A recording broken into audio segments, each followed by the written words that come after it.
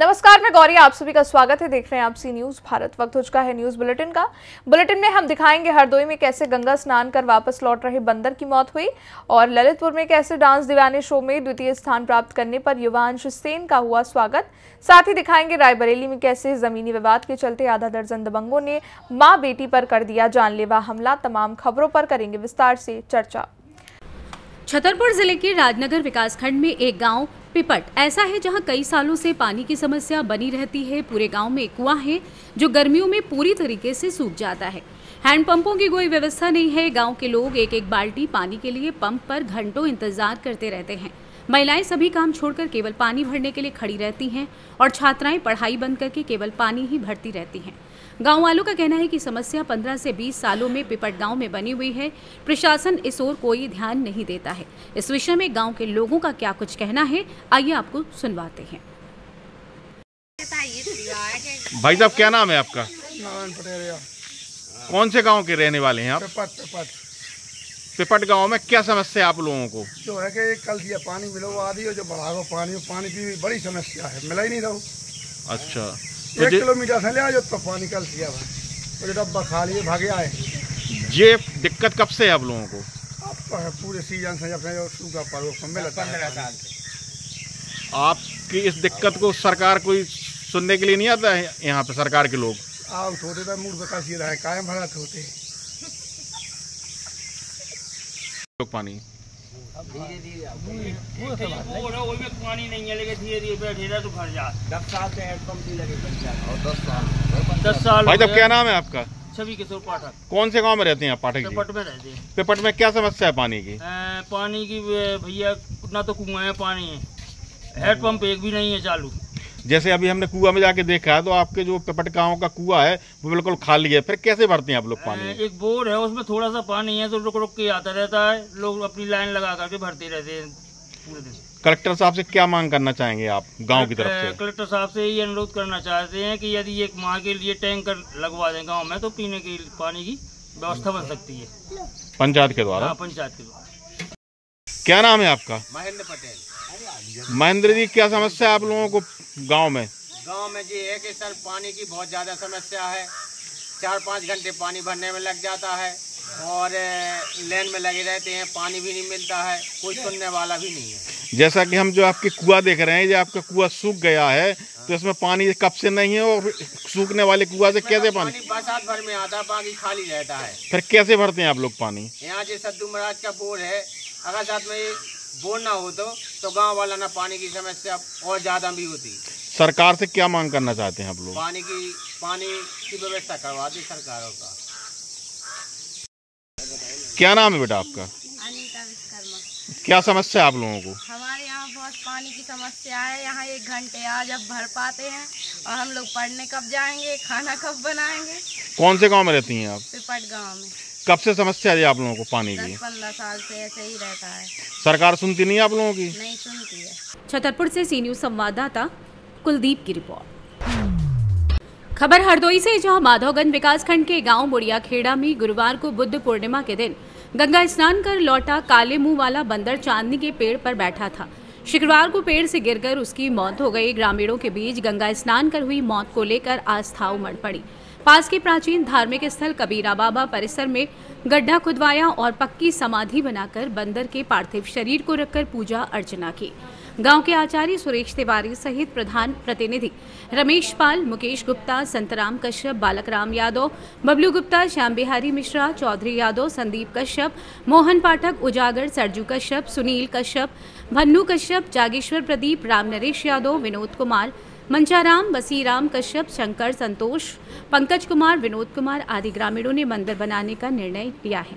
ग्रामीणों ने बताया कि भले ही लोग गंगा स्नान को लेकर आस्था का विषय न मानते हों, पर आधा दर्जन करीब अधिक काले मुँह वाले बंदर दशकों से नैमिषारण्य धाम से चलकर हर पूर्णिमा व अमावस्या के दिन पवित्र नदी गंगा स्नान के लिए आते जाते दिखाई देते हैं। गुरुवार को कुछ बंदर आगे निकल गए। एक पेड़ पर ही बैठा रहा, जिसकी शुक्रवार की मौत हो गई।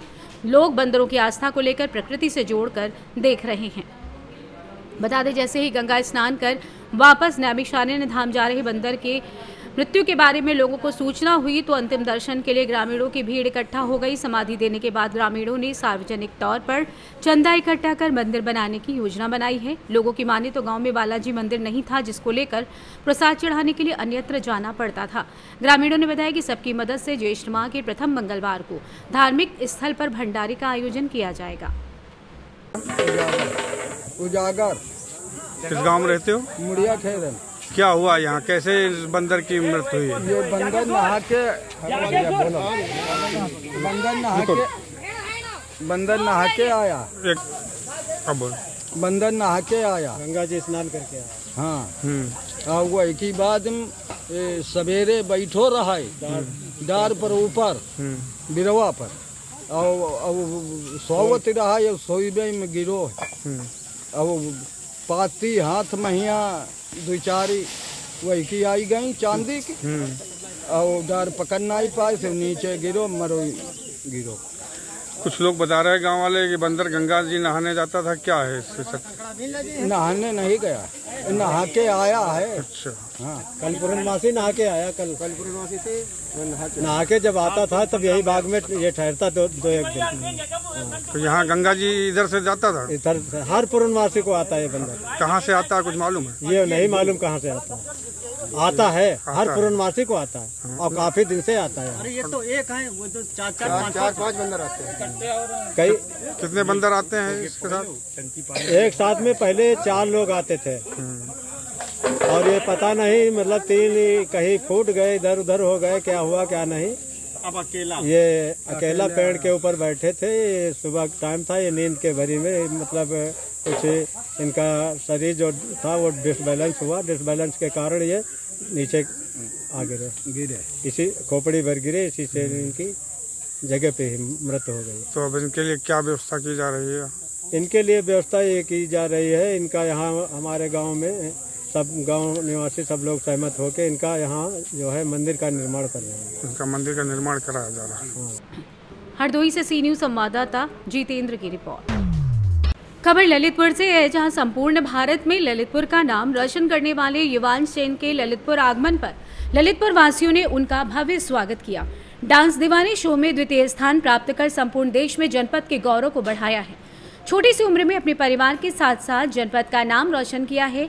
एक खास बात, लिटिल मास्टर युवा सेन के साथ देखिए हमारे संवाददाता विकास सोनी के साथ। प्रतिभा किसी उम्र की मोहताज नहीं होती, जीता जागता प्रमाण जहाँ पर बताया है बालक ने। वहीं पर आपको बता दें, डांस इंडिया डांस में जहाँ पर दूसरा स्थान प्राप्त करने के बाद ललितपुर शहर में अपने घर पर आया है प्रशंसकों के साथ और वहीं पर हनुमान जी के दर्शन करने के बाद क्या है उसका कहना? आइए उसी की जुबानी जानते हैं क्या है उसका कहना। क्या क्या चुनौतियाँ उसके सामने आई थी और वहीं पर डांस की प्रेरणा उसको कहाँ से मिली? नमस्ते क्या नाम है आपका? युवान सेन। युवान सेन कहाँ रहते हो? ललितपुर। ललितपुर में। क्या नाम पापा का? प्रमोद। प्रमोद। अच्छा डांस की बात कर रहे हो। डांस आपको कहाँ से कहाँ से सीखा अपना डांस? सर से सर से सीखा। अच्छा कैसे आपको शुरुआत आपने कितने साल में डांस की की थी की हुई थी? कितने साल से आप डांस करते हैं? दो। दो साल से? तीन साल से कि दो साल से? दो साल से। दो साल से। अच्छा ये बताइए कि आप जहाँ पर बम्बई गए तो सब बम्बई में आपको कैसा लग रहा था? अच्छा। अच्छा बहुत पूरे भारत के सभी बच्चे आए हुए थे कंपटीशन था आपके बच्चों के साथ। तो क्या आपको लग रहा था बच्चों के साथ कंपटीशन में? मैं जीतूँगा। मैं जीतूँगा। अच्छा कौन कौन कहाँ कहाँ कौन कौन से स्टेट से बच्चे आए थे? ये नहीं पता। ये नहीं पता। कोई दोस्त बना? नहीं। अच्छा कौन सा गाना अच्छा लगता है? किस गाने पे आप अच्छे लगते हैं? युवराज युवराज बना। युवराज बना। किस कौन सा गाना आपको अच्छा लगता है? जिस गाने पे आप डांस करते हैं? सारे। अच्छा किन किन सामने जज बैठे और ब- कौन कौन से जज बैठे थे? बद्री में और सुनील सर। सुनील शेट्टी बैठे थे? हाँ। अच्छा क्या कह रहे थे आपसे ये नहीं बताओ। कुछ नहीं कहा। अच्छा कौन सा स्थान प्राप्त किया है आपने? कौन सा स्थान प्राप्त किया आपने? मतलब? कौन सा स्थान प्राप्त किया है आपने बम डांस इंडिया डांस में। हम ही है। आप ही विनर हो जूनियर में जूनियर विनर है? हाँ आपको बता दें कि जहाँ पर जूनियर में विनर है और वहीं पर ललितपुर के तुवन मंदिर प्रांगण में आया है दर्शन करने के लिए। कैसा महसूस कर रहे हैं सभी बैंड बाजी के साथ आपके साथ चल रहे हैं? अच्छा। अच्छा महसूस कर रहे हैं। बताएँगे डांस के बारे में। कोशिश करोगे तो बड़े कामयाब होगे। कामयाब हो गए ये हम आपको बता दें कि जहाँ पर बच्चे के द्वारा बताया गया कोशिश करिए कामयाब ज़रूर होगे। उनके साथ मम्मी पापा भी मौजूद है इनसे भी जानते अच्छा कैसे लगा आपको बच्चे में प्रतिभा है जहाँ पर डांस की? कब लगा? नहीं जब वो छोटा था तो मतलब उसकी ऐसे ही मतलब सॉन्ग वगैरह बजती थे ना तो मतलब डांस करता था तो ऐसा लगता था कि हाँ यार इसको डांस अपन सिखाएँ। तो हमने डांस सिखाया और इनके शिवराज सर हैं जो तो उनसे हमने डांस सीखा और आज डांस सीखा मेहनत की। अच्छा महसूस कैसे कर रहे हैं कि आपको क्या लग रहा है आपको? क्या महसूस हो रहा है और क्या खुशी के पल है?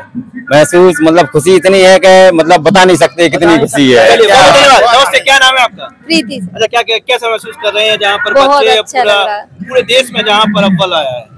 बहुत अच्छा लग रहा है हमें कि हमारा बच्चा आगे तक गया है और हम तो सबके यही वो करेंगे ना कि सारे बच्चों को ऐसे सिखाओ और आगे बढ़ाइए। चलिए बहुत बहुत धन्यवाद। नमस्ते भैया क्या नाम है आपका? शिवराज यादव। आप ट्रेनर हैं? हाँ। अच्छा तो क्या आपको लगा था कब आपको लगा कि हाँ ये बच्चा कुछ कर सकता है?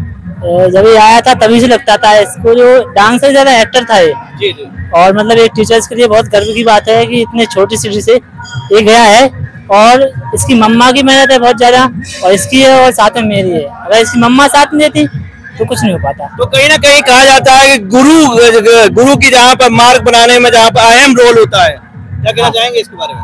बात सही है लेकिन पेरेंट्स का भी सपोर्ट चाहिए। उसकी मम्मा मुझे लगता है उसकी मम्मा का जहाँ सपोर्ट है उसको आगे बढ़ाने में। चलिए बहुत बहुत धन्यवाद। यहाँ हम आपको बता दें कि जहाँ पर युवान से आपको आमना सामना कराया और वहीं पर माता पिता से आमना सामना कराया और जाना कि क्या कहना है उसका डांस के प्रति? ललितपुर से सी संवाददाता विकास सोनी की रिपोर्ट। खबर पाकुड़ से है, जहाँ शहर के व्याहुत विवाह भवन में छत्तीसगढ़ के स्वास्थ्य मंत्री श्याम बिहारी जायसवाल पहुँचे। इनके आगमन पर अभिनंदन समारोह आयोजित किया गया। मन संचालक संयोजक सह महामंत्री विश्वनाथ भगत ने किया, समाज के अध्यक्ष अशोक भगत ने अंगवस्त्र देकर स्वागत किया। मौके पर श्याम बिहारी जायसवाल ने समाज के बारे में जानकारी देते हुए कहा कि देश, हमारा समाज बहुत बड़ा है अलग अलग राज्य में अलग अलग सरनेम से लोग आते हैं जिससे समाज के लोगों को पहचान करने में दिक्कत होती है। अलग अलग राज्य में आरक्षण भी मिलता है कहीं कहीं तो समाज के लोगों को सामान्य वर्ग में भी रखा गया है। ऐसे में समाज के लोगों को चिन्हित कर अभिनंदन समारोह जैसे कार्यक्रम होते रहने चाहिए, ताकि समाज के लोगों को बड़े अहदे पर बैठे लोगों की से मदद भी मिल सकेगी। समारोह में छत्तीसगढ़ सरकार के पूर्व मंत्री भैयालाल रजवाड़े, मनोज शर्मा, अनंत तिवारी, प्रेम भगत, अशोक भगत, मंगल हाजदा बलराम दुबे, प्रदीप जायसवाल, रवि कालीशंकर भगत, सुनील भगत, राजेश, उत्तम भगत, ओम प्रकाश उपस्थित थे। पाकुड़ से सी संवाददाता पंकज भगत की रिपोर्ट। रायबरेली में पारिवारिक ज़मीन विवाद के चलते आधा दर्जन दबंगों ने माँ और इसकी गर्भवती बेटी पर हमला कर दिया। बता दें, दबंगों के हमले में जहाँ माँ गंभीर रूप से घायल हो गई, वहीं बेटी का गर्भपात हो गया। मामला ऊंचाहर, कोतवाली क्षेत्र के खरौली गाँव का है, जहाँ पारिवारिक जमीनी विवाद के चलते आधा दर्जन से अधिक दबंगों ने बुज़ुर्ग गोमती देवी और उसकी गर्भवती बेटी से जमकर मारपीट की। दबंगों के हमले में जहाँ माँ गंभीर रूप से घायल हो गई, वहीं बेटी का गर्भपात हो गया। थाने में सुनवाई न होने से नाराज़ पीड़ित महिलाओं ने पुलिस अधीक्षक से न्याय की गुहार लगाई है। माता जी क्या नाम है आपका? हमारा गोमती देवी ना। कहाँ रहती हैं? खास खरौली ऊँचा हार। खाना कौन सा है? ऊँचा हार। क्या हुआ है? मारपीट हुई है। हमारे जेठ नी के लड़का पाँच चार लोग हमारे चार जने जेठानी देवरानी पतो है यही मारिन पतो है, है उनकी जेठानी की जेठानी चार औरतें पाँच आदमी मारिन हमको मिल किसको किसको मारा? है हम माँ बेटी का मारा है। माँ बेटी का। कैसी तबीयत है बेटी की? बेटी की तबीयत एकदम सीरियस है। है, पेट में बच्चे थे वो खराब होगा पेट कितने महीने बच्चा था? पाँच महीना का। पुलिस में सूचना दिया लिए? एप्लीकेशन दिया हम लोग भर्ती रहे हैं और जौन है कि सौ नंबर बुलाया है और एंबुलेंस में बैठा दी ने और फिर ये जौन समझ के गए हुए हमारे लगे हुए कौन अबे मुकदमा बिहान में एप्लीकेशन पटुआ हुआ कुछ नहीं भवा। है। थाने गई थी तो क्या थाने नहीं गए एप्लीकेशन भेजा है और गाँव में सौ नंबर बुलाया है। रायबरेली से सी न्यूज़ संवाददाता देवराज की रिपोर्ट। फ़िलहाल के लिए न्यूज़ बुलेटिन में बस इतना ही। देश दुनिया की तमाम बड़ी खबरों के लिए देखते रहिए सी न्यूज़ भारत।